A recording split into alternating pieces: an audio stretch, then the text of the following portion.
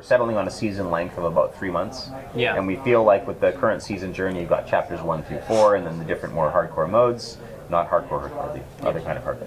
Um, that people who play exhaustively have uh, enough time in three months to finish all of those. People who just have a little time and they want to finish chapters one through four and get their first big rewards, such as the Frostbound Head in season four, that that amount of time seemed about right. And we've done everything from five months to seven weeks for season length over the seasons one through four. Yeah, and you guys are building in a, a bit of a downtime now as well. Like, We're gonna experiment. We're gonna try that. it, yeah. Yeah, and people, it's it's mixed feedback. Some people are like, I, like, I want the season to next season to start immediately. I only play seasons. Get, bring it to me. And other people are like, whoa, the seasons are coming really hot on top of each other. Can we have a break for a second here? And we thought, okay, well, let's try it. We'll try it. You know, it will. It won't be very long. It'll be like two weeks, maybe, maybe even less, maybe maybe a month at most. And even that, I feel like that's probably too high. Yeah. So we'll settle on that number over the next few weeks, and then we'll let people know. I'm glad that you guys are experimenting with that idea and kind of recognizing. Because I, I do think that there is a need for downtime in action RPGs. They're pretty intense games, and Exactly, especially if you're You pushing spend the a lot of time leaderboards, if you're Yeah. competitive, um, sure. or if you're trying to, even if you're not competitive, if you're trying to master the season, get yeah. all the way up. Um, Yeah. That's pretty, yeah, exactly. It's hard. And with them becoming shorter now, there's potential that more people might play all the way through and having that bit of a break, even if it's kind of like, even if it feels like a little forced on you. I think it's. Uh, yeah, and I should hope so. And I've Brings back the noticed that there are a lot of Blizzard games now, and I have trouble keeping up myself. That's and. I, I work for the company, so you probably uh, know that Seasons are giving out stash tabs now, as That's well as we're big giving news. out uh, a free stash tab to everybody, season or not, Just a couple stash tabs. for the first season. Yeah, yeah, and there'll be more in the future. So how uh, yeah how it'll work? You'll, you'll get a stash tab for, for, for gold, and then uh, each uh, season you if you make Conqueror is what we're trying to do right now. Or For, we've- for season five, TBD. Conqueror probably. TBD. Well, at least We'll- we'll, we'll- go to PTR that way. Yeah. Um, feel free to give feedback. Everybody. yeah, we'll figure it out, and um, uh, each stash you can get one stash tab per season up to a maximum of ten. Right. Yeah, that's what I was gonna say. I was kind of joking around a bit because uh, you know people are gonna just just one more stash tab, please, and you can have up to ten now. So Right, but not on day one.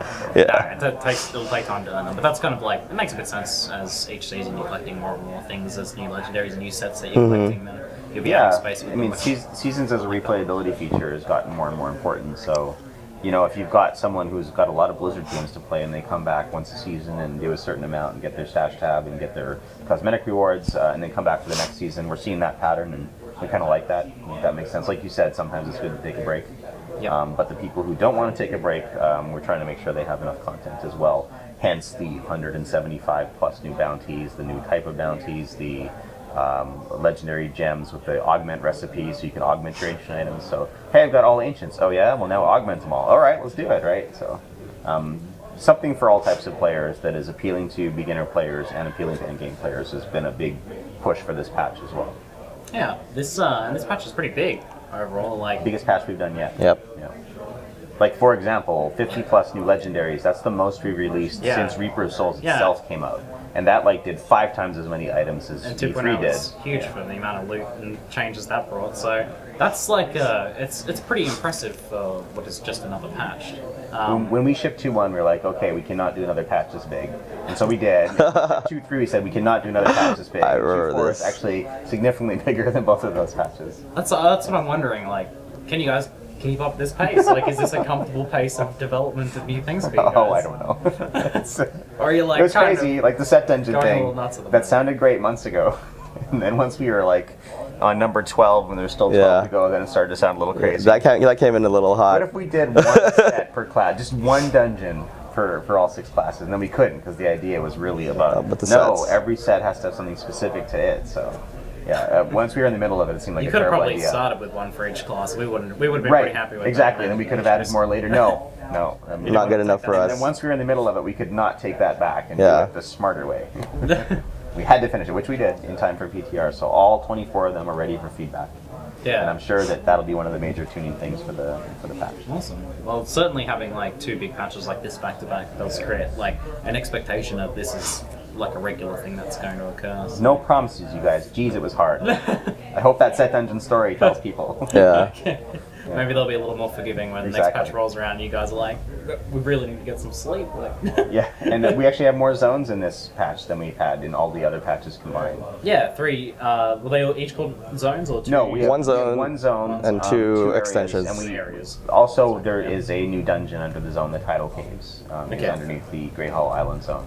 Yeah, and like in the past, we had um, Sescheron, and it had um, a side dungeon too, didn't it? I think I believe so. I think so. I don't know. I got them mixed up. And now we have the Eternal Woods. Right, and we had the uh, the vault, um, the treasure vault before with the treasure goblin queen lived. So we did a little bit. So each of our patches were delivering more areas as Feature well, creep. which we should also probably start. yeah, we should probably stop doing. We Producers. did a lot of level design and level art this patch.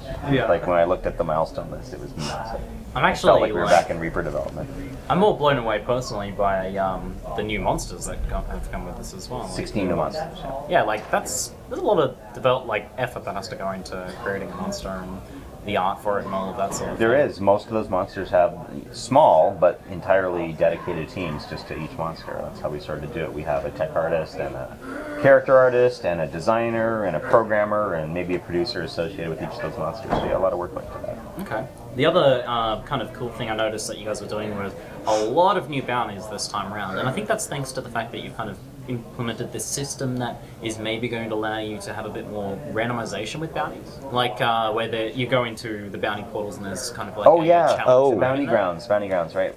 So um, a bunch of stuff went into bounties this time, and part of the reason we have so many is we have so many new areas in the new zone. Yep. And each of those has bounties that are appropriate to it based on the events, the story events that are happening into it. Um, and that's one type. And then, of course, we have to populate them with your standard types of bounties, like Yep. kill this named monster, such as Head Monton, the Sasquatchion, which is an Canada joke. Well. Everybody. You'll get it. No one else needs to. He's just a, a yellow yeti you need to kill. Um, and uh, bounty um, uh, shrines and uh, cursed chests, cursed shrines, those sort of things. And then bounty grounds were an attempt to do that across the whole game with an entirely new type of thing. And so there are small enclosed areas that have specific types of challenges where the environment kind of matters. Like if you've got six different shrines you need to click and you have to finish them all before the first one respawns, like little things like that. We were experimenting with. So this system is what I, when I said randomization, is I can see this system, this new type of bounty that's in a segmented off area, leading to a, an extra layer of randomization bounties. As you said, you can put those anywhere, Right. Essentially, so most increasing the bounties have been in really physical space, Yeah. unlike Nephilim Rifts, which is the exact opposite, where it's any dungeon combined with any group of monsters sort of thing. That was like the ultimate randomness. And these bounties are sort of in between, where there's some randomness compared to normal bounties, but not so much that they're stepping on the toes of Nephilim Rifts or Greater Rifts. It's almost like you guys are creating a, uh, a system where there's a bunch of different parts that you can start to socket together. Have you guys thought about the potential that this new system that you could add like, you know, challenge type A, challenge type B, challenge type C, and then have different ways of combining them together? Like, I think it kind of is that, and I mean, people see in PTR right away, like a week from now, right? Everyone will be talking about exactly that thing. And if you think of something like the cursed, or not the cursed shrines, the set dungeons, where there's very specific goals that are are more about mechanics and a lot less about damage. That's going to be an interesting combination of activities in the end game. Now, I'm doing my rifts, I'm doing my bounties, I'm doing my Nephilim rifts, I'm doing my uh, uh, Set dungeons. set dungeons, and then because you're doing a lot of bounties these days, because Kanai's Cube, you need the mats for it. We did want to make those a lot more interesting, and it wasn't just a matter of making bounties interesting overall. It was also the fact that some of the acts are more fun than some of the other acts. So we wanted to shore up where we put these new areas, zones, and bounties. More of them are in the acts that got played the least in patch two, three. So some of it's data as well. Do you guys feel like the uh, the addition of adventure mode? Because I feel like adventure mode is like the future for action RPGs, rather than the more archaic method of running through the campaign multiple times. Certainly in the future for Diablo. Yeah. But yeah. Absolutely. Do you guys feel like it's uh, just giving you so much more freedom to do a lot of these sorts of things? Absolutely. The structure we had was just wrong, and we didn't. We were unable to see it or realize it until the game actually shipped.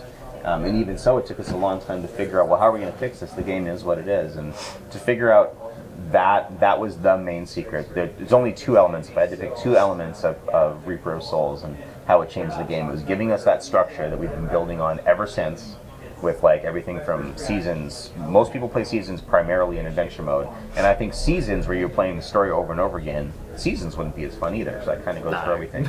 and of course, Loot 2.0, which we're also built on everything, and you know. Uh, I like the fact that we took the approach where we are not going to have like two classes of items. There's the old items that suck, and then the new ones that are the hotness. Um, and as we're adding so many items patch after patch here, it was also important for us to make sure that all the old ones were good. So a lot of what when we're making a new power, it's fairly easy for us to make like a weapon art. Like a sword doesn't take that long to make compared to a set of armor. So we could have just making brand new items for all these brand new powers, but we went back and we took all the original items that had no powers that were just stat sticks. And we're giving you know more and more of them all the time. We're having these brand new powers so that original items were still good. Yeah, or would be al- good again, however you want to look at It it. allows you guys to do so much more as well. It was it was really vital, I think, that we made we tried to make everything we already have good, not just add new stuff with all we learned. The existing stuff is also still fun. Alrighty, well I think that just about does us for time, guys. So thank you very Thank much. Thank you very much. This I appreciate awesome. it. Thank you. Good chatting to you. Thanks.